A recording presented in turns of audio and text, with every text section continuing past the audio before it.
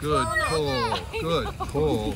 You want a cookie for a good pull? There you go. So, what was once a very small, out of the back of our shed business is a full fledged, uh, huge winter wonderland experience now. It encompasses uh, many acres and it has Christmas tree fields, wagon rides, uh, a little village that has a little Santa shop, fire pits. Um, it's really what we would call agro entertainment.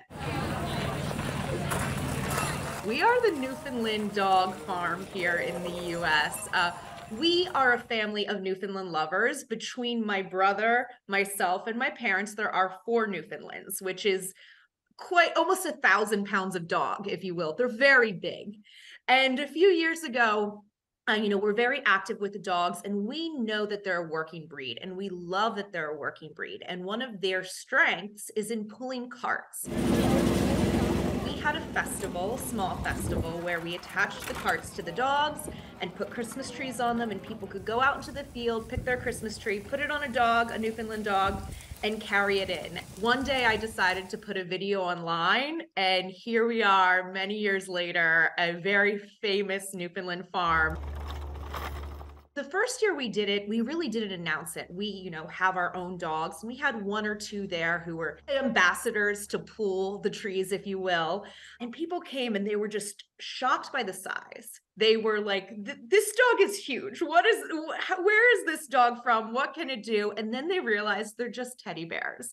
And so the word started spreading of course on social media come to plow farms. They have newfoundlands. The dogs are so sweet. You'll never believe how sweet they are.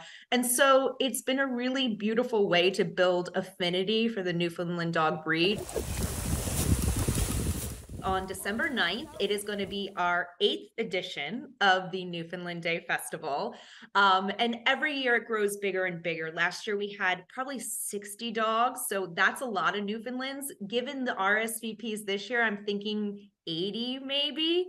Um, and the day starts with one big giant group photo, and then it kind of breaks out into how the dogs want to behave. So some, of course, go to work.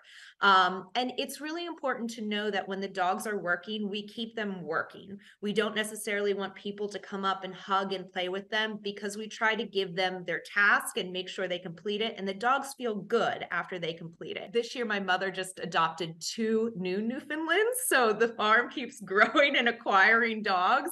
Um, and, you know, we love them. They're part of our family. Uh, my mother has a car that is just to haul the dogs around. You know, it is they're big dogs they need a lot of care but it's really beautiful when you see them work and, and we know that they're happy on the farm